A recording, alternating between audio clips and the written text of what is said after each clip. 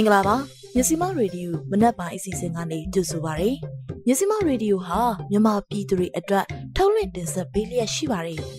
မြစီမရေဒီယိုမနက်ပိုင်းအစီအစဉ်ကိုနေ့စဉ်မနက်၈နာရီကနေ၈နာရီခွဲအထိ108 FM Facebook Page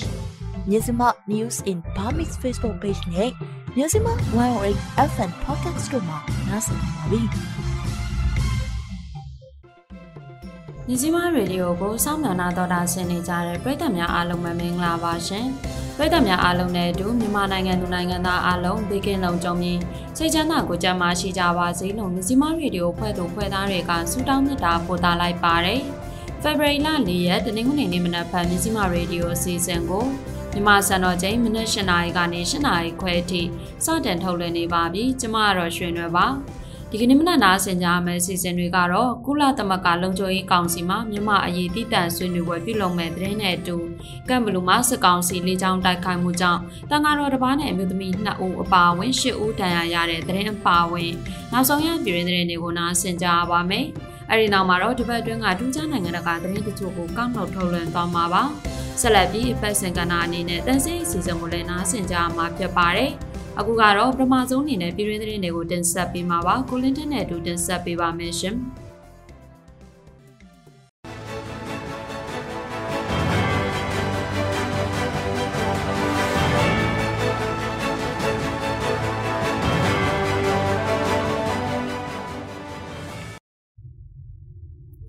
နောက်ဆုံးရပြည်တွင်းသတင်းတွေကိုနားဆင်ကြပါမယ်။ ကုလသမဂ္ဂလုံခြုံရေးကောင်စီမှလာမယ့်တနင်္လာနေ့ဖေဖော်ဝါရီ9ရက်နေ့မှာမြန်မာရေးသိတန့်ဆွေးနွေးကြဖို့စီစဉ်ထားပါတယ်။အမေရိကန်ပြည်ထောင်စုနယူးယောက်မြို့မှာရှိတဲ့ကုလသမဂ္ဂဌာနချုပ်မှာ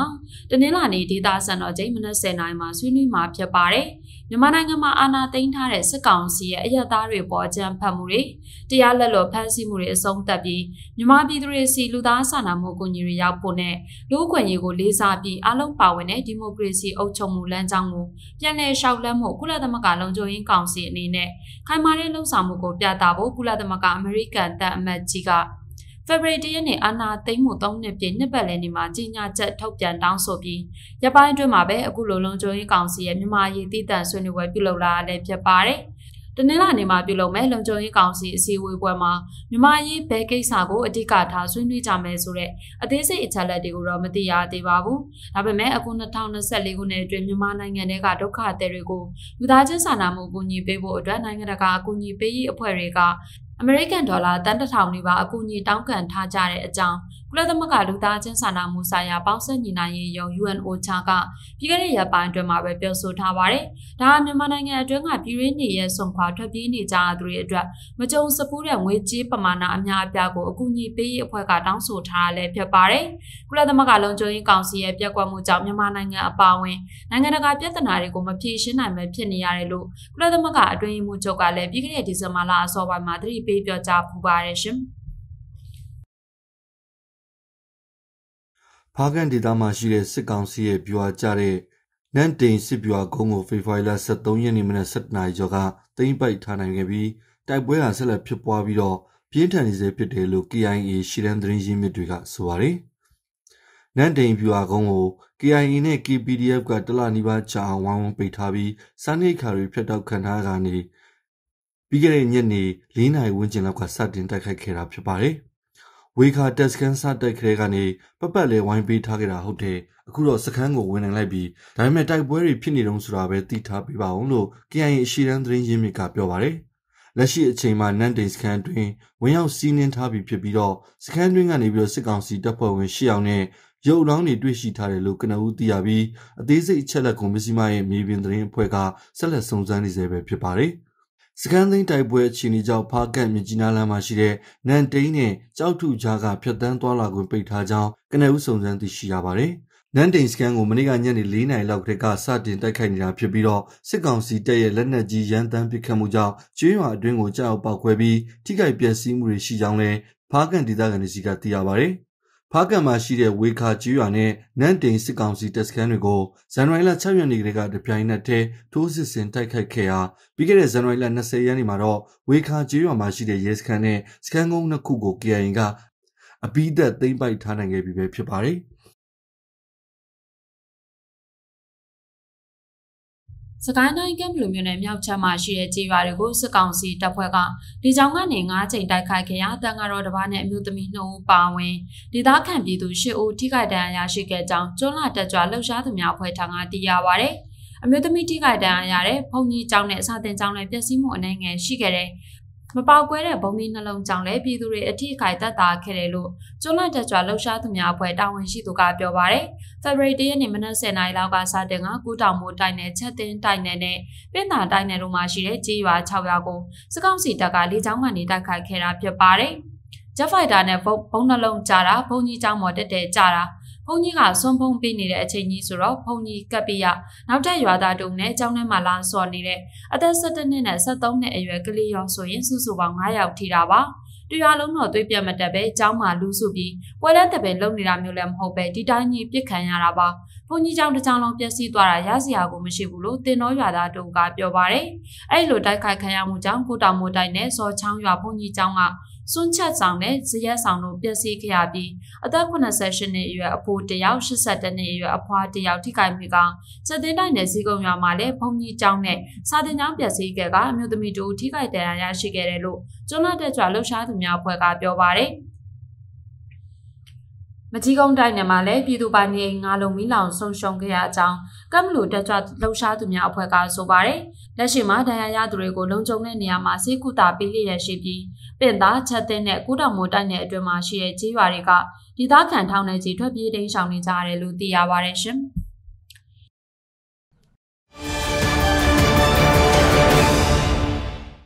ထိုင်းမြန်မာနိုင်ငံသားခံယူထားတဲ့ကော်တောင်းမြို့ Grand Adman Hotel ပိုင်ရှင်ဦးကျော်လွင်အပါအဝင်လူ18ဦးကိုထိုင်းအာဏာပိုင်တွေကပြီးခဲ့တဲ့ဖေဖော်ဝါရီလ1ရက်နေ့မှာအွန်လိုင်းငွေကြေး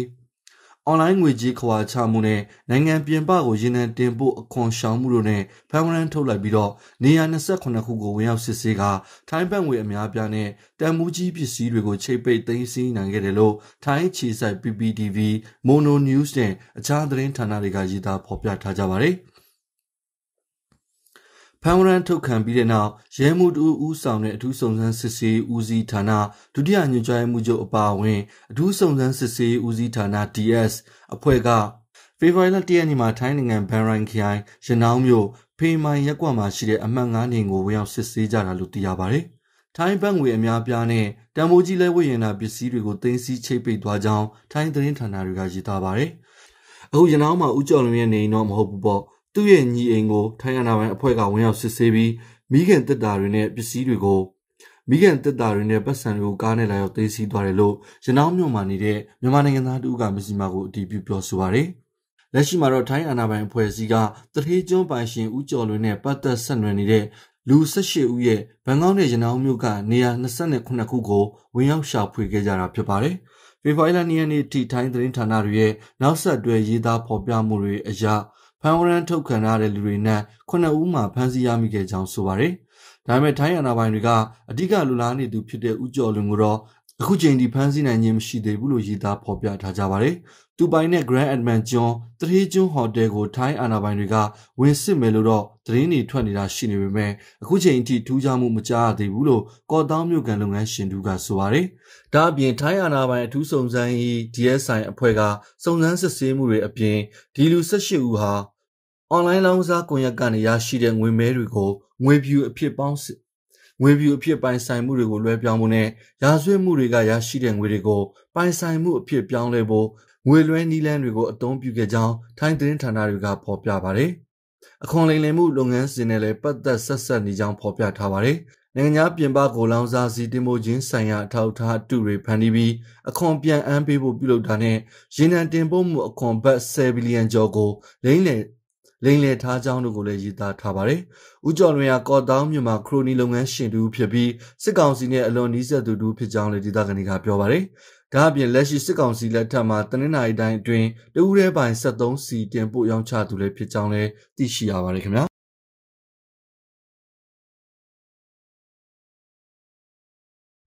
မွန်ပြည်နယ်ဘီလင်းမြို့နယ်ဝန်းတာပန်ကြီးရွာအလဲမှာရှိတဲ့စစ်ကောင်စီတပ်စခန်းကိုရဲရင်နဲ့လာပို့တဲ့ရိတ်ခါ KN စီးဝါတွေကိုတက်မှတက်ခရင်မျိုးသားလွတ်မြောက်ရေးတပ်မတော် KNL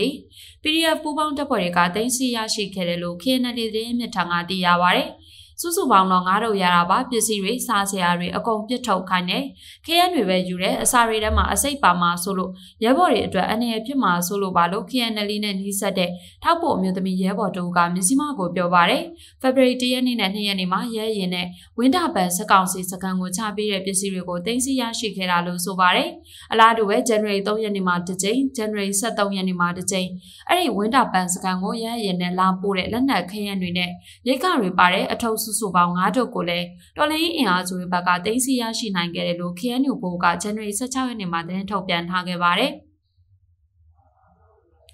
အမတ်ရှစ်စစ်စင်ရေးကိုကဲမှုဌာနချုပ်စကခရှစ်လောက်ခန့်ချင်းမြတ်တရင်ခမရ413ညကစစ်ကောင်စီတပ်သားတွေအထိုင်ချတဲ့ဝင်းတာပန်စခန်းကို2024ခုနှစ်ဇန်နဝါရီလအစောပိုင်းကစတင်က KNL PDF ပူးပေါင်းတပ်ဖွဲ့တွေက ပိတ်ဆို့တိုက်ခိုက်မှုတွေနေ့စဉ်ပြုလုပ်ခဲ့တာဖြစ်ပြီး February 2ရက်နေ့ထိတိုက်ခိုက်မှုတွေဆက်လက်ဖြစ်ပွားနေတယ်လို့ KNL သတင်းမြစ်ထံကသိရပါဗျ။ February 3ရက်နေ့မှာတော့ဝင်းတာပန်စခန်းအနီးတစ်ဝိုက်မှာတိုက်ပွဲဖြစ်ပွားခြင်းမရှိပေမဲ့လည်းစီးရေးအခြေအနေဆက်လက်တင်းမာနေဆဲဖြစ်တယ်လို့စီးရေးသတင်းစီးရေးအခြေအနေဆက်လက်တင်းမာနေဆဲဖြစ်တယ်လို့စီးရေးသတင်းမြစ်ထံကသိရပါဗျရှင်။မလေးရှားနိုင်ငံကထိန်းသိမ်းစကန်တစ်ခုမှာ အထီးကယုံတစ်ခုဖြစ်ပွားခဲ့ပြီးတော့ထိန်းသိမ်းထားတဲ့ရိုဟင်ဂျာဒုက္ခသည်တရားကျော်ထွက်ပြေးလွတ်မြောက်သွားတယ်လို့မလေးရှားရဲတွေကမနေ့ကပြောထားတဲ့အကြောင်း AFP မှာဖော်ပြထားပါတယ်။ဖေဖော်ဝါရီလ၁ရက်နေ့မှာမလေးရှားနိုင်ငံမြောက်ပိုင်းပီရက်ပြည်နယ်မှာရှိတဲ့ဘီတော်ထိန်းသိမ်းစခန်းကရိုဟင်ဂျာ135ယောက်နဲ့အခြားရွှေ့ပြောင်းနေထိုင်သူ16ဦးတို့ဟာရုံရင်းစံခတ်အခြေအနေတစ်ခုဖန်တီးခဲ့ပြီးတဲ့နောက်ထွက်ပြေးလွတ်မြောက်သွားတာဖြစ်တယ်လို့ရဲချုပ်မိုဟာမက်နီအန်အန်နာဝီက AFP ကိုပြောကြားပါတယ်။ အာနာပိုင်တွေကအခုလိုအထီးကယုံဖြစ်ပွားရတဲ့အကြောင်းရင်းကိုစုံစမ်းနေစေဖြစ်ပြီး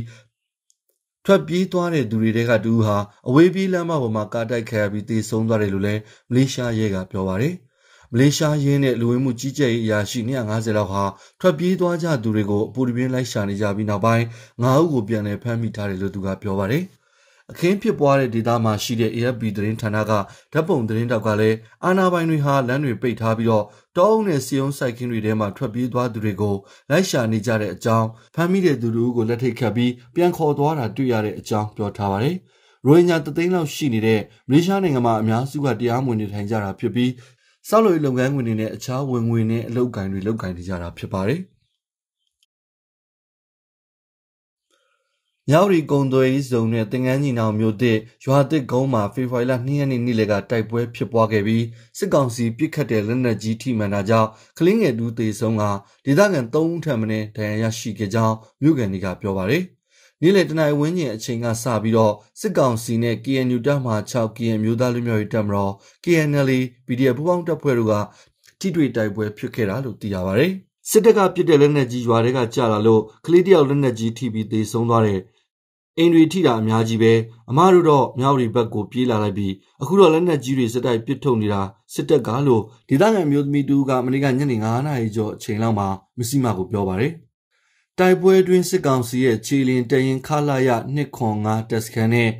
တင်ငန်းညီနောင်ပြွာကုန်းကလက်နက်ကြီးရန်တမ်းပစ်ခတ်ခဲ့တာကြောင့်တင်ငန်းညီနောင်မျိုးသစ်ရွာသစ်ကုန်းကယောက်ျားလေးကလေးငယ်တူထိခိုက်သေးဆုံးသွားတယ်လို့သိရပါတယ်။ ဒါပြင်လက်နက်ကြီးထိမှန်မှုကြောင့်ဒေသခံ၃ဦးထပ်မံတန်ရရှိသွားပြီးနေအိမ်တွေလည်းပျက်စီးမှုတွေရှိတယ်လို့ဒေသခံတွေကပြောပါတယ်။အသေးစိတ်အခြေအနေကိုမစီမအနေနဲ့ဆက်လက်စုံစမ်းမေးမြန်းနေဆဲပဲဖြစ်ပါတယ်။ကရင်ပြည်နယ်သင်္ကန်းညီနောင်မြို့သစ်မှာပြီးခဲ့တဲ့ဇန်နဝါရီလ29ရက်နေ့ကစစ်ကောင်စီရဲ့ရန်ရှင်နှစ်စီးကို KNL PDF ပူးပေါင်းတပ်ဖွဲ့တွေကပစ်ခတ်တိုက်ခိုက်ခဲ့ပါတယ်။အဲဒီတိုက်ခိုက်မှုအတွင်းရန်ရင်တစီထိမှန်ပြတ်ကြပြီးရန်ရင်ပေါ်မှာပါလာတဲ့တပ်မ44တပ်မမှုဗိုလ်မှူးချုပ်အင်းမင်းအောင် ခမရကိုတရင်မှုဗိုလ်မှူးစိုးလွင်ထွန်းရန်ရင်မှုဗိုလ်မှူးတိုးဦးတို့အပါအဝင်9ဦးသေဆုံးပြီးတော့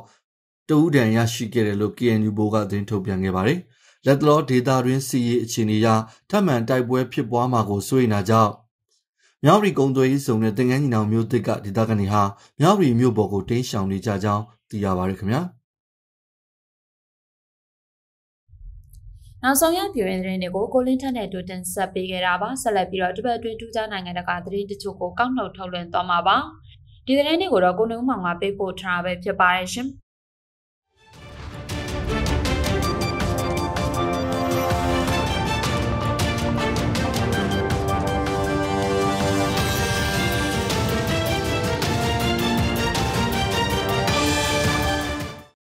ငင်းပွားနေတဲ့ဗလီတစ်ခုမှာဟိန္ဒူဘာသာဝင်တွေဝင်ရောက်ဝတ်ပြုခွင့်ရှိဖို့အိန္ဒိယတရားရုံးဆုံးဖြတ်လိုက်တဲ့သတင်းကိုတင်ဆက်ပေးကြပါမယ်။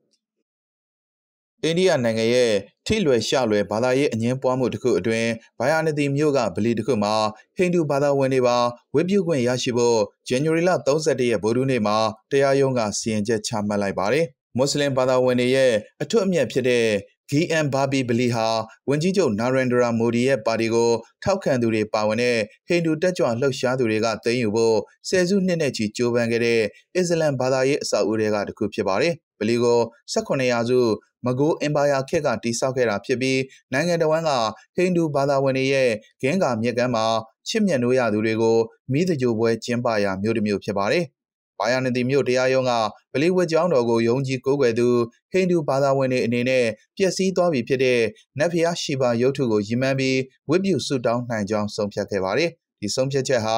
GM ဘာဘီဘလီရဲ့အနာဂတ်နဲ့ပတ်သက်ပြီးကာလတာရှည်ဖြစ်ပွားခဲ့တဲ့အငင်းပွားမှုအတွက်နောက်ဆုံးဆုံးဖြတ်ချက်ဖြစ်လာပါတယ်။ အိန္ဒိယရဲ့တရားဝင်ရှေးဟောင်းသုတေသနအေဂျင်စီကအဆိုပါဘလီနေယာကိုစစ်ဆေးမှုတစ်ခုအတွင်းမူလကဟိန္ဒူဖျားကျောင်းတစ်ခုဖြစ်နိုင်တယ်လို့ယုံကြည်ရကြောင်းအတည်ပြုခဲ့တယ်လို့ဒေတာတွင်သတင်းတွေမှာဖော်ပြခဲ့ကြပါတယ်။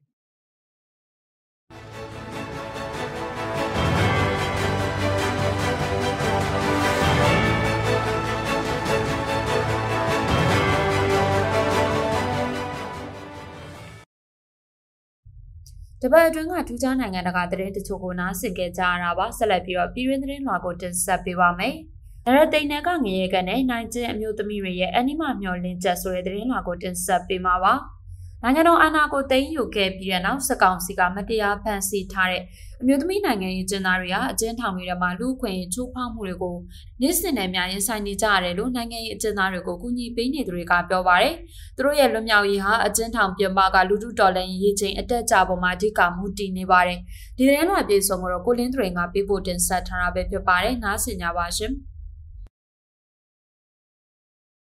စစ်ကောင်စီကမတရားဖမ်းဆီးထားတဲ့အမျိုးသမီးနိုင်ငံရေးကျင်းသားတွေဟာအကျဉ်းထောင်တွေထဲမှာလူခွေရေးချိုးဖောက်မှုတွေကိုနေ့စဉ်နဲ့အမျှခံစားနေကြရတယ်လို့နိုင်ငံရေးကျင်းသားတွေကိုကူညီပေးနေသူတွေကပြောပါတယ်။အာဏာသိမ်းထားတဲ့၃နှစ်တာကာလအတွင်းမှာပဲစစ်ကောင်စီကနိုင်ငံရေးပုံမှန်တွေနဲ့ဖမ်းဆီးထားတဲ့မျိုးသမီး3000ကျော်ရှိလာတယ်လို့မြမအမျိုးသမီးတမက BWU ကမနေ့ကဖေဖော်ဝါရီလ၁ရက်နေ့မှာထုတ်ပြန်ထားပါတယ်။ဒီမျိုးသမီးတွေဟာအကျဉ်းထောင်တွေထဲမှာလူခွေရေးချိုးဖောက်မှုတွေပိုပြီးခံစားနေကြရတယ်လို့ မြန်မာနိုင်ငံလုံးဆိုင်ရာနိုင်ငံရေးကျင်းသားများကွန်ရက်ရဲ့ဥဆောင်ကော်မတီဝင်ကိုတိုက်ထုံးကပြောပြပါဗျ။မန်လေးဗဟိုကျင်းထောင်ပေါ့နော်မှာဆိုရင်မျိုးသမီးတွေရဲ့ဒီရေချိုးကန်းနေရာလောက်ထိကိုမှ CDU တက်ထားတာမျိုးပေါ့နော်လုံခြုံရေးအကြောင်းပြရင်မှမျိုးသမီးအိတ်ဆောင်တွေမှာ CDU တက်တာမျိုးတွေရှိတယ်အဲဒါကလည်းမျိုးသမီးတွေရဲ့သူတို့ရဲ့တွာလာလှုပ်ရှားမှုတွေကိုလုံခြုံရေးရစောင့်ကြည့်လေ့လာတယ်ဆိုပေမဲ့ပေါ့နော်သူတို့တွေရဲ့လွတ်လပ်စွာ တချို့တွေဆိုရင်ဒါအထက်မှာအိုက်တဲ့အတွက်သူတို့ရည်သွားချိုးရတဲ့ချိန်တွေမှာဆိုစိတ်မလုံမလဲတွေဖြစ်တယ်ပေါ့နော်သူတို့ CDV တွေကအာအဲ့ဒီမြေချိုးကန်းသားလောက်ထိသူတို့ရဲ့အခန်းရည်ထိမြင်နေရတဲ့အခါမှာအမျိုးသမီးတွေရဲ့သွားလာလှုပ်ရှားမှုတွေမလွတ်မလပ်ခံစားရတယ်ပေါ့နော်ဒီလိုမျိုးတွေလည်းဒါတစ်ဖက်လက်ကနေဖိနှိပ်မှုပုံစံမျိုးနဲ့ပေါ့နော်အချင်းဦးစီးဌာနတွေကပြုလုပ်နေရမျိုးတွေရှိပါတယ်ဘိုးကျင်းတော်တွေမှာ CCTV ကင်မရာတွေတက်ဆင်ထားတာတွေရှိလာပြီးတစ်ဖက်မှာလည်းထောင်ဝန်ထမ်းမျိုးသမီးတွေကအချင်းသူမျိုးသမီးတွေရဲ့မိမကိုကိုစစ်ဆေးတာတွေလည်းဒီနှစ်ပိုင်းတွေမှာရှိလာတယ်လို့သူကဆက်ပြောပါတယ်။ ဖမ်းဆီးခံရတဲ့ကမျိုးသမီး900ကျော်ကထောင်ဒဏ်တွေချမှတ်ခံထားရတာပါ55ဦးကတေတံနဲ့တသက်တကြုံချမှတ်ခံရသူတွေဖြစ်ပါတယ်ထောင်ဒဏ်45နှစ်ထက်ကနေ65နှစ်အထိပြစ်ဒဏ်ချမှတ်ခံရသူ2ဦးရှိတယ်လို့မြန်မာအမျိုးသမီးသမဂ္ဂကထုတ်ပြန်ထားပါတယ်နိုင်ငံရေးကျင်းသားတွေအားလုံးကစစ်ကြောရေးစကန်တွေကိုဖျက်ပြီးမှအကျဉ်းထောင်တွေမှာဆက်လက်တရားရင်ဆိုင်ကြရတာဖြစ်ပါတယ်ဒီစစ်ကြောရေးစကန်တွေမှာအမျိုးသမီးတွေကစိတ်ပိုင်းနဲ့ရုပ်ပိုင်းဆိုင်ရာညှင်းဆဲနှိပ်စက်မှုတွေကိုကြုံတွေ့ရပါတယ် ဒူးထောက်ခိုင်းတယ်ဒူးအောက်မှာဇီးစီထားတယ်နောက်ကနေပြီးအဲ့တဟိုးစာကိုခြေလုံးကိုတက်နင်းတယ်အဲ့စဖနနဲ့တက်နင်းတယ်နောက်ပြီးဒုတ်တွေနဲ့ရိုက်တယ်ဒုတ်တွေနဲ့ရိုက်တယ်ပေါ့ခင်ဒုတ်တွေနဲ့ရိုက်တယ်အဲ့နောက်ကနှုတ်ကလည်းဟိုပေါ့ရိုင်းရိုင်းကြကြနေဆဲဆိုတာပေါ့နမချင်းမဆန်တာအဲ့လေမဲဆိုင်ညမနှိမ့်ဆက်ဆိုင်တယ်လို့သူတို့အချင်းချင်းပြောပြောတာပေါ့နော်ပြောလို့ဆိုတော့နှစ်ယောက်တော့အမှ တွေ့ခဲ့တယ်ဟိုကောင်မလေးတွေကအဲ့လိုမျိုးတရေရလဲထောင်ထဲမှာပြပြန်လာပေါ့ပြန်တဲ့ခါကျတော့ထောင်ဝါရာတွေကပါသူတို့နှိတ်ကွပြီးပြောဆိုတာတွေဟိုဟိုဗာလဲကိုချင်းမစားပါတော့ဒီကောင်မလေးတွေရဲ့စိတ်စိတ်မပါပဲနဲ့ဒီပိုင်းသူတစ်ပိုင်းဟိုဥစားပါလောက်တာဖမ်းတာတော့မှပဲသူတို့ကဟိုကိုချင်းမစား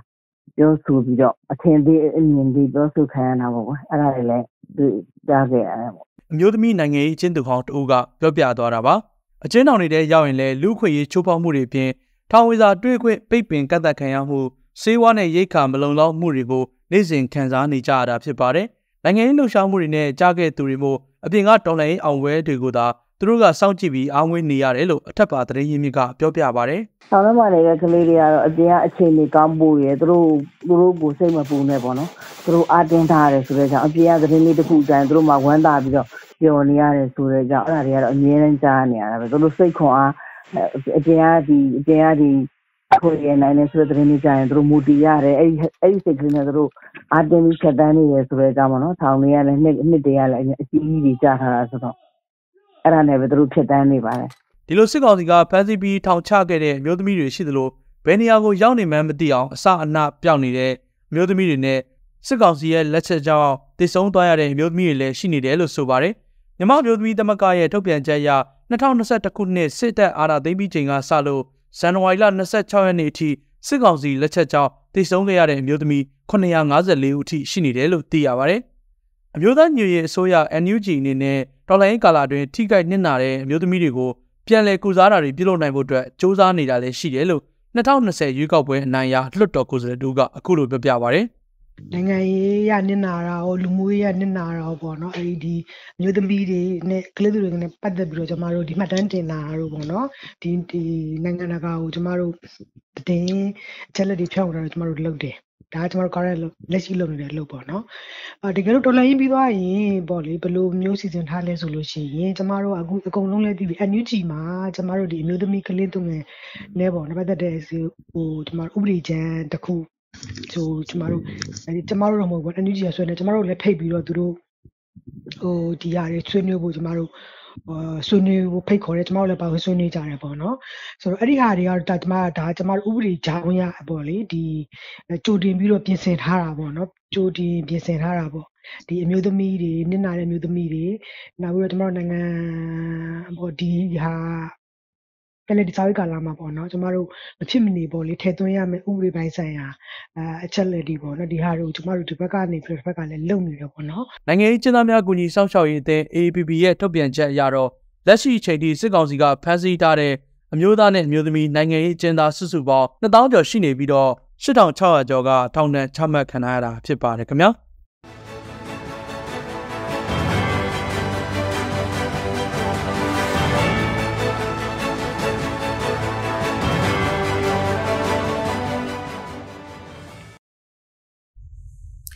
လင်းသူရင်ပေးပို့တင်ဆက်ထားတဲ့ပြည်တွင်းသတင်းလွှာကိုနားဆင်ကြကြရတာပါဆက်လက်ပြီးတော့ဘတ်စင်ကနာအနေနဲ့တန်ဆင်းစီစဉ်ကိုထုတ်လွှင့်သွားမှာဖြစ်ပါတယ်ဒီစီစဉ်ကိုတော့တန်ဆင်းနဲ့တူတော်လိုင်းညီကိုမောင်နှမတွေကပူးပေါင်းစီစဉ်တင်ဆက်ထားတာပဲဖြစ်ပါတယ်နားဆင်ကြပါရှင်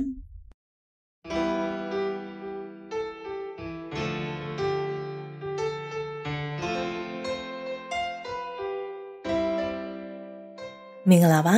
တန်ဆင်းရဲ့လေးလိုင်းဘွားအင်လီကနေကြိုဆိုပါရစေချစ်တို့ ဖေဖော်ဝါရီလ3ရက်နေ့ဆိုရင်စစ်တပ်ကမတရားအာဏာလုထားတာရက်ပေါင်း1098ရက်ရှိပါပြီ။လွန်ခဲ့တဲ့3နှစ်နဲ့3ရက်ဒီလိုအချိန်မှာချစ်တို့ဘာလုပ်နေခဲ့လဲ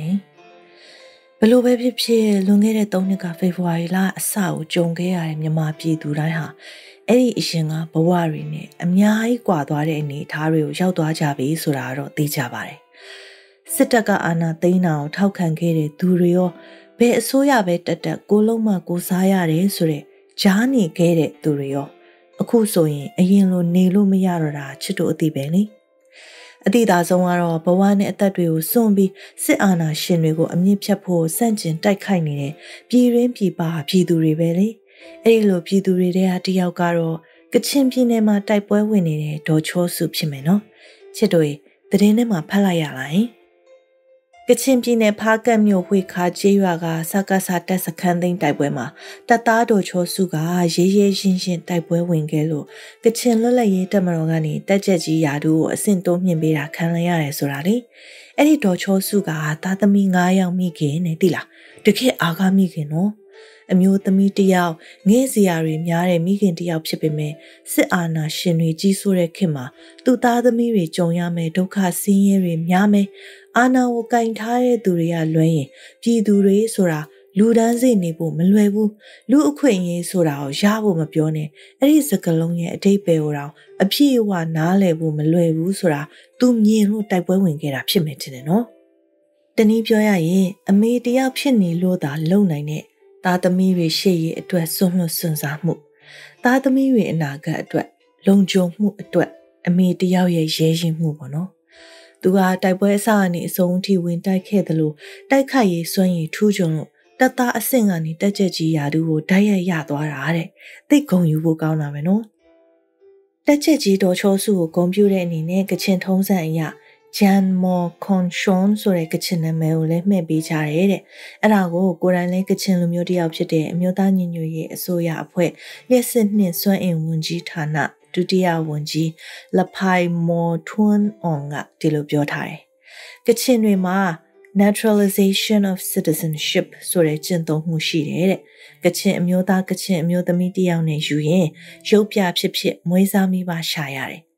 ယူလို့ရတဲ့အမျိုးကတော့ဖြစ်ရမှာပေါ့လေပြီးရင်ရက်ရွာတိအောင်ဂျင်းနှမ်းထောင်းပြီးတော့အတိမတ်ပြုတ်လိုက်ရင်ကချင်ဖြစ်သွားရောကချင်ဘက်ရောက်သွားတဲ့ PDF တွေတွေကတချို့လဲကချင်အမျိုးနာမည်နဲ့ဂုံယူစွာတိုက်ပွဲဝင်ကြတာကိုလည်းတွေ့ရတယ်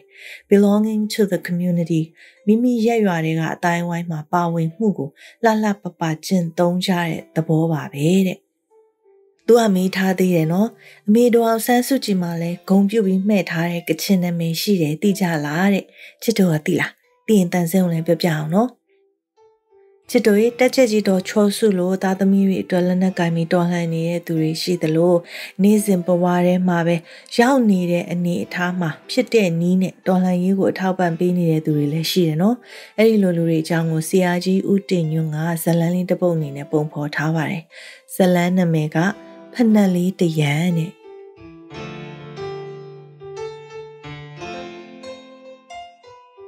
ဖနက်ဆိုင်တဆိုင်ကိုအမျိုးသမီးကြီးတယောက်ဝင်လာသည်ကျောင်းအဒီအဲ့ဒီဘလို့ဖနက်တွေရှာလဲဟိုလေအကျန်းလဲခံတာရှည်လေးစီးနိုင်မဲ့ဖနက်မျိုးပေါ့အာဂွင်းဒိုလားရှူလားတော်စီလားအဲ့ဒီဘာလို့ချင်းလဲအေးသမီးတိုးစီးတွေကကောင်းကောင်းလေးပြပေးပါ အော်ဒီဒီလိုကျိုးတိုင်းမျိုးလေးတွေကလေကောင်မလေးတယောက်ကအထဲကိုဝင်သွားပြီးစက်ကူဘူးလေးကိုကင်ကထွက်လာသည်အနီဒါမျိုးဆိုရင်အဆင်ပြေမလားဒါကဗီယက်နမ်မိတ်လေအကျန်းလေးခံနေရေဆိုလေးခံနေသီလားသမီးဖနက်လေးကသေးများနေသလားလို့အော်စိုက်ကတော့လိုချင်တဲ့စိုက်ရပါတယ်ရှင်ဘယ်စိုက်စီးလဲအန်တီစီမင်တင်လို့သမီးကခက်သေးသေးယူလာတာဟိုအန်တီဘမဟုတ်ပါဘူးကွယ်သားလေးအတွက်လာဝယ်တာ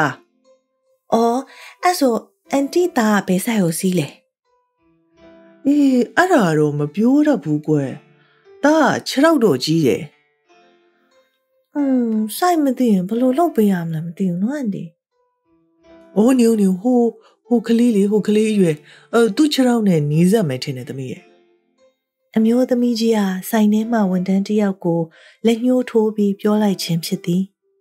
အော်အဲ့ဒါဆိုရင်တော့နံပါတ်33လောက်ရမယ်ထင်တယ်အန်တီအေးကွယ်အဲ့ဒီနံပါတ်ပဲပေးလိုက်နော်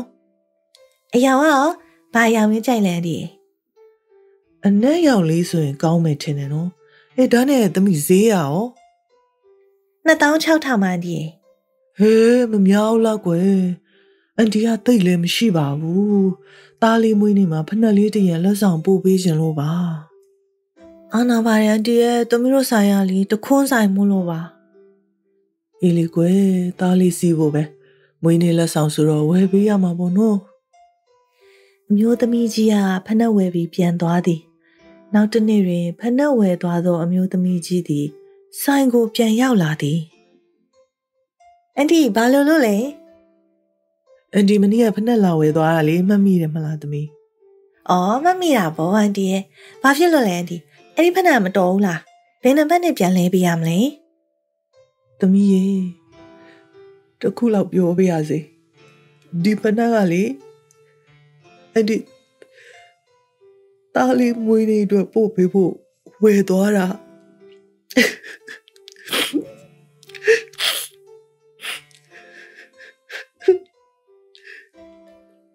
အမျိုးသမီးကြီးဟာပြောရင်မျက်ရည်တွေကျလာသည်။ ဟဲအန်တီဘာဘာဖြစ်လို့လဲတမီးဘာများမှားသွားလို့လဲ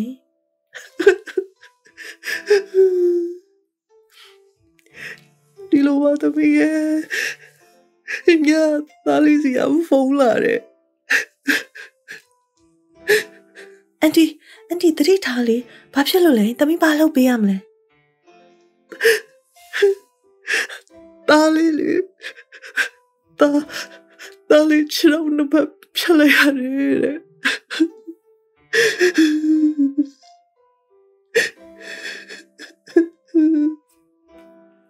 အမျိုးသမီးကြီးက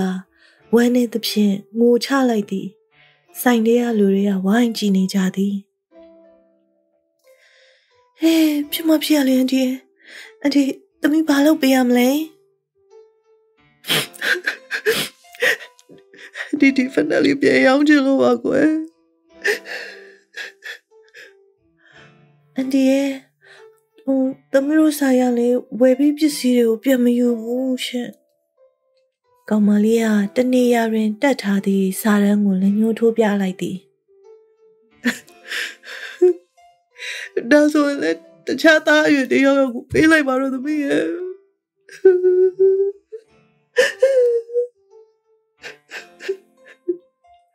အမျိုးသမီးကြီးကဖက်နှက်ဘူးကိုကောက်မလေးလက်ထဲထဲကပြန်ထွက်သွားသည်အမျိုးသမီးကြီးသည် ကားမတ်တိုင်တွင် ကားရဲဆောက်နေသည် ထိုစဉ်သူ့ဘေးကိုဖက်နှက်ဆိုင်ကမင်းကလေးရောက်လာသည်အန်ဒီအန်ဒီဒီမလေးအန်တီဖက်နှက်အတွက်ပတ်စံလာပြန်ပေးတာဟင်သမီးတို့ကဝယ်ပြီးပစ္စည်းပြန်မယူဘူးဆို ဟုတ်တယ်အန်တီရဲ့ဒါမဲ့လေးဟိုအန်တီသားနဲ့အရွယ်တူအကိုတယောက်ကဝယ်သွားလို့အချောင်သမီးကပတ်စံလိုက်ပေးတာပါ။အိုးဟုတ်လား။သူနဲ့ကိုတော်ရလားသမီးရဲ့။အန်ကိုက်ပဲအန်တီ။အေးကျေးဇူးတင်လိုက်တာကွယ်။ကောင်မလေးကသူ့အလုံးလုံးနေသည့်ဖက်နှက်ဆိုင်ကိုပြန်ဝင်သွားသည်။သူကဆိုင်ရှင်ကိုပြောလိုက်သည်။ဒီဖက်နှက်အတွက်ဆော့ဆော့ယူသွားတဲ့ပတ်စံကိုကျမလာစားရပဲဖြတ်လိုက်ပါနော်။ ဒီဖက်နဲ့လေးကိုကျမအကိုစီကိုပို့ပေးမလို့လေအကိုငွေနေရလာမဲလာထဲမှာချစ်တို့ရိုးရိုးလေးနဲ့ရင်ထဲကိုထိစေတဲ့ပြည်သူတော်လှန်ရေးဇလံလေးပဲနော်ကဲအခုဆက်ပြီးတော့ပြည်သူပန်းနိုင်စာမျက်နှာမှာတမတော်အရာရှိဟောင်းတဦးဆိုတဲ့ကလောင်နဲ့2023ခုနှစ်ဒီဇင်ဘာလ29ရက်နေ့ကတင်ထားတဲ့တိုင်းပြည်ကိုလည်းချစ်ပါ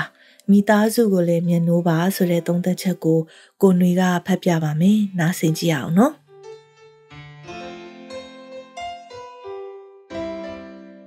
2021ခုနှစ်ဖေဖော်ဝါရီလတရက်နေ့အာနာစာသိမ်းလိုက်တော့တက်ထဲမှာအများစုကပျော်ကြတယ်ငါတို့ဘဘကြီးလုံနိုင်တယ်ငါတို့ဘဘကြီးသာတမရဖြင့်ငါတို့စစ်သားတွေဘဝလူမွေးလူတောင်ပြောင်းမယ်စစ်သားဆိုတာနဲ့ပြည်သူတွေကြားခေါင်းမော့ရင်ကော့နိုင်တော့မယ်ဇီဝရေးတွေတဟုန်တို့တိုးတက်လာမယ်ဘာသာတရားလည်းပို့ထုံးကားလာတော့မယ်ဘာညာပေါ့လေပညာနဲ့နဲ့တက်ပြီးတွေးခေါ်တတ်တဲ့အရာရှိတွေစစ်တီတွေကတော့အနာဂတ်အရေးတွေးပြီးရင်လေးနေကြကြတယ် ဒီမိုးဒီလီဒီလူတွေနဲ့တော့အရာအလုံးပျက်စီးတော့မယ်ဆိုတာခံစားနေမိခဲ့ကြပြီးသားကျွန်တော်တို့တက်ကထွက်စင်တော့ကဘယ်ကုမ္ပဏီဘယ်လုပ်ငန်းလုပ်လို့တက်ထွက်အဖြစ်လေးလေးစားစားဆက်ဆံခံရတယ်နေရာလဲရခဲ့ကြတယ်လူတွေရဲ့ချစ်ခင်ယုံကြည်မှုကိုလည်းခံခဲ့ကြရတယ်အခုဆိုရင်စစ်တပ်ဆိုတဲ့အတန်ကြားတာနဲ့တင်လူတွေကယွန်ရှာဆက်ဆုပ်မုန်းတီးတဲ့မျက်လုံးတွေနဲ့ကြည့်ကြတော့တာပဲဘယ်နေရာသွားသွားပုံရှိုးကွယ်ရှိုးနဲ့ကိုဘွားအမှန်တော့ ချပြဖို့မဝွန့်ရဲတော့တဲ့ဘဝတွေနဲ့ဒီနေ့ကတက်ထွက်အသည့်တယောက်ပြစ်သက်ခံရတော့လူတွေအားလုံးကပျော်နေကြတယ်ပျော်မှာပေါ့လေမအားလာနောက်လိုက်ဆိုတာနဲ့တင်တတွေးခွက်မှာပက်လက်မျောပြီးသားမို့လားဒါဟာပြည်သူတွေကြားတဲ့ကကျွန်တော်တို့ဘဝတွေရဲ့တကယ်အဖြစ်မှန်တက်ထဲမှာတော့ကကြက်လိုက်ရတဲ့ကျင့်ဝတ်60ဆိုတာဇာအုပ်တွေကဒဏ္ဍာကြီးများလားပဲဒီနေ့ခီးသွားတော့လမ်းမှာကားပေါ်လာတက်စစ်တဲ့စစ်သားတွေဆိုတာ ဂျပန်ခေတ်ကဖက်စစ်အဘတွေများလာအောက်မိရတယ်မနေနိုင်လို့ဝင်ပြောတော့သားရွယ်ရှိတဲ့စစ်သားခမရဘာကောင်လဲတေးကျင်လို့လားဆိုပဲဘာဒီဖြစ်ကုန်တာလဲမင်းအောင်လိုက်တလောတော့ကမိတ်ဆွေတယောက်ဒူးဒူးတိတ်တိတ်လာပြောတယ်ကျွန်တော်တမန်ရှေ့တန်းထွက်နေတာနှစ်နှစ်ကျော်ပြီဘာသတင်းမှမရလို့သမီးကတငုံငုံတရီရီနဲ့ဖြစ်နေလို့အဆက်အသွယ်ရှိရင်စုံစမ်းပေးပါဦးတက်ကထွက်လို့ရအောင်ရောလှုပ်ပေးလို့ရမလားလိုက်ရမယ်ဆိုလဲဘလောက်ကုံကုံခြံရောင်းပြီးပေးပါမယ်တဲ့ ဟောဟိုတစ်ချိန်သူ့သမီးမင်္ဂလာဆောင်တုန်းကငါတမက်ကစစ်တပ်အရာရှိဘိုးကြီးလေကွာဆိုပြီးအရက်တကာပတ်ကြွားနေတဲ့မျက်နှာနဲ့တခြားစီမြည်လေးချီရင်မျက်ရည်လေးဆန်းဆန်းနေမှုတန်ဝေကရမိပါရဲ့ဘာတွေဖြစ်ကုန်ပြီလဲမင်းအောင်လိုက်ဒေါ်လာဈေးရွှေဈေးက3ဆ73စီနဲ့တကွစားတော့ကုန်တွေက456ဆတက်စီးပွားရေးအလုပ်ကန်အခွင့်အလမ်းနဲ့ဝင်ငွေတွေကအဝီစီထိုးကြတခိုးတပြမဒိန်လူသက်ကောင်တွေက လမ်းတွေပေါ်မှာပေါ်ပေါ်ထင်ထင်လူရက်လူသက်ပါမရဘာတွေဖြစ်ကုန်ကြတာလဲမင်းအောင်လိုက်သာသနာဘက်လှည့်ကြည့်တော့လေတနက်ကိုင်းတဲ့ဘုန်းကြီးတွေလူမှုဘောအကျန်းဖက်ရေးတရားဟောနေတဲ့အရေးချုံသင်္ကန်းဝတ်တွေသမိုင်းတွေကဘယင်းတွေပါဆွဲထည့်ပြီးမအပ်မရမြောက်ထိုးပင့်ကုန်ရင်ဟင်းပွဲ300ဒေါ်လာအလန်းစရားတွေနဲ့သာသနာကိုခုတ်ထစ်ရောင်းစားနေတဲ့စမိုင်းလင်းကိုတော်တွေကဒိုင်းပြေဘုံဘုံလဲပြူကြနေချိန်မှာတပြုံးမြုံနဲ့အောင်ပွဲခံနေကြ ဘာတွေဖြစ်ကုန်ကြတာလဲမင်းအောင်လိုက်တလောတုံးကလေမိသားစုချင်းရင်းနှီးတဲ့တပည့်အရာရှိတယောက်ရဲ့ဇနီးနဲ့အမှတ်မထင်ဆုံးပြီးတော့အကဲဆန်းရင်မေးလိုက်မိတယ်ဟိုကောင်စီရီယန်လောက်တာလားပေါ့ရင်းနှီးတဲ့သူချင်းအခုမှတွေ့ရတော့ချုံပွဲချငိုပါလေရောစီရီယန်လောက်ဖို့ကြိုးစားနေတော့မှပဲယောက်ျားတိုက်ပွဲကြသွားကြောင်းသိတာဘူးတော့တက်ကအသိမပေးကြောင်း PDF တွေဖုန်းဆက်မှသိရပြီးနာရေးကိုလေတလကြော်ကြာမှအများနဲ့ပေါင်းလို့ရကြောင်း အလောင်းလည်းပြန်မမြင်ရကြောင်းဇာတိရောက်ရပြန်တော့လေဘသူ့ကိုမှအသိမခံရဲတဲ့ကြောင်းသိတဲ့သူတွေကလည်းမိမိကိုယ်သာမကမိမိသားလေးကိုပင်ကလေးချင်းယွန်းရှာသလိုဝိုင်းကျင်ကြတာခံခဲ့ရကြောင်းဇာတိမျိုးဘက်တိုက်ပွဲဖြစ်တော့ဒီဘက်ကိုစစ်ရှောင်နေတဲ့အတူပြေးလာရကြောင်းဒီဘက်ရောက်တော့လေကလေးကိုအဖေအကြောင်းမပြောမိအောင်တင်ပေးထားပြီးဇက်မြုပ်နေရကြောင်းအခုအလုတ်လိုက်ရှာနေရကြောင်းစသဖြင့်ဇက်ပေါင်းတော့စိတ်ထဲမကောင်းတာနဲ့ တတ်နိုင်တဲ့လောက်အကူအညီပေးအားမငယ်ဖို့ဖြည့်သိမ့်ပေးုံကလွဲပြီးဘာမှမတတ်နိုင်ဘာတွေဖြစ်ကုန်ကြပြီလဲမင်းအောင်လိုက်တကယ်တော့2021ကတည်းကပြည်သူတွေဟာသူတို့ဆန္ဒကိုလေးစားဖို့ပြည်သူဘက်ကနေရက်တည်ဖို့သွေးမြေခချိန်မှာတော့တမတော်သားတွေကိုတောင်းပန်ရင်တောင်းဆိုခဲ့ကြတာပါမအားလာနဲ့လက်တဆုပ်စာအာနာယူတွေကသဘောထားသိသိမ်ရုပ်မှန်တလို့ပြည်သူတွေကစစ်သားတွေပေါ်သဘောထားကြီးစွာလက်ကမ်းကြိုဆိုခဲ့ကြပူပါတယ် ပြည်သူဘက်အချိန်မရွေးဝင်လာနိုင်အောင်တကားတွေလည်းဖွင့်ထားခဲ့ကြဘူးလေစစ်မြေပြင်မှာတော့စစ်တုပ်ပန်းတွေကိုလူကုံသိက္ခာနဲ့အညီအသက်ရှင်မှုအခွင့်အရေးတွေပေးခဲ့ကြဘူးလေအခုထိလည်းတကားတွေဖွင့်ထားစေဖွင့်ထားမြင်လူကုံသိက္ခာနဲ့အခွင့်အရေးတွေပေးနေစေပေးနေမြင်လက်ရှိအနေထားမှာတော့ဆုံးဖြတ်ဖို့ရနောက်ဆုံးအနာသက်မြင့်ကိုရောက်ပြီးရဲဘော်တို့မင်းတို့တိုက်ပွဲကြသွားတဲ့အခါ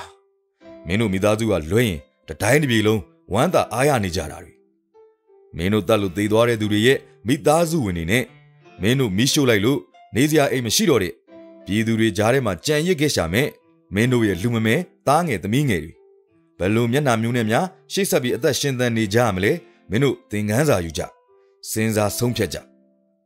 အလေးညာအစိတ်မိုင်းနေပြည့်နေတဲ့ဝလုံးကောင်းလေးကိုပဲကဘာကြီးအမှတ်နဲ့ဆက်လက်ဖတ်တွေနေကြအောင်မလားငါတို့ကပြည်သူကြားလာတဲ့စစ်သားတွေလည်းဖြစ်ခဲ့ဘူးသလို စစ်သားဘဝကလာတဲ့ပြည်သူတွေလည်းဖြစ်တယ်စေအုပ်စုအကြောင်းဥမချေကားမကြံသိသလို54တန်းသောပြည်သူတွေရဲ့ဆန္ဒအစစ်မှန်နဲ့တိုင်းပြည်ရဲ့အခြေအနေမှန်ကိုလည်းကို့ဘဝနဲ့ရင်းပြီးသိတယ်အဲ့ဒီတော့အနှစ်ချုပ်ရရင်တိုင်းပြည်ကိုလည်းချစ်ပါမိသားစုကိုလည်းမျက်နှိုးပါငါအဖေဘသူပါဆိုပြီးလူကြားသူကြားထုတ်ပြောရတဲ့မျိုးဆက်ဂုံတိတ်ခအမွေကိုလည်းပြန်လေရယူပါလို့ပဲတိုက်တွန်းလိုက်ပြစီရဲပေါ့ပြည်သူဆန္ဒသည်သာအောင်ပွဲစင်စစ်ဖြစ်ရမည် ချစ်တွေတော်လှန်ရေးသုံးနှစ်တာကာလအတွင်းမရည်ရွယ်ဘဲနဲ့ပြောင်းသွားရတဲ့တန်စင်တို့ဘဝတွေကိုကိုယ့်လက်နဲ့ကိုမြ мян တိဆောက်နိုင်ဖို့ထောက်ခံပါတယ်ဆိုတာထက်ပိုတဲ့လက်တွေ့ပူးပေါင်းပါဝင်မှုအားကိုတက်ဆုံဖွင့်ရွက်ကုံလွှင့်ရှေ့ဆက်သွားကြရအောင်နော်ကဲဒီနေ့တော့ဒီမှာပဲနှုတ်ဆက်လိုက်ပါတော့မယ်နောက်ပတ်မှာတန်စင်မှာပြန်ဆုံမယ်နော်ပြန်မဆုံနိုင်သေးခင်အတင်းထားကြမယ်နော်တတ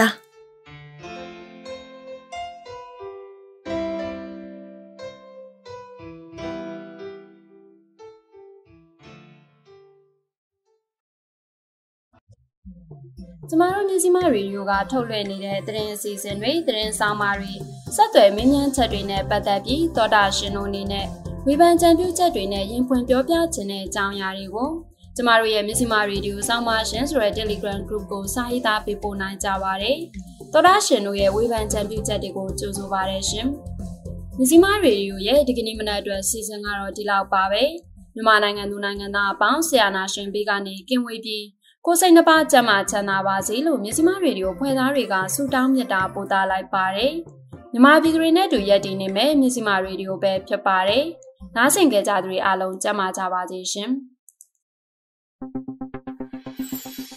မြစီမရေဒီယိုဟာမြန်မာပြည်သူတွေအတွက်ထုတ်လွှင့်တင်ဆက်ပေးလျက်ရှိပါတယ်။မြစီမရေဒီယိုမနက်ပိုင်းအစီအစဉ်ကိုနေ့စဉ်မနက်၈နာရီကနေ၈နာရီခွဲအထိ108 FM Facebook Page မြစီမ News in Bamix Facebook Page နဲ့မြစီမ108 FM Podcast တို့မှာနားဆင်နိုင်ပါပြီ။